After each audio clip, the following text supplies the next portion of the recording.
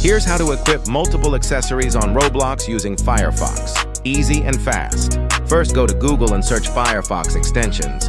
Click the first link that says Add-ons for Firefox. Once you're there, search for BTR Roblox in the top right search bar.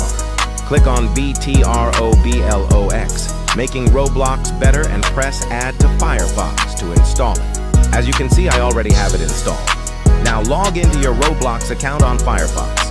Next, open the Roblox mobile app and start equipping your accessories one by one. Each time you equip something, refresh your Roblox mobile page. That way it saves it under recently worn.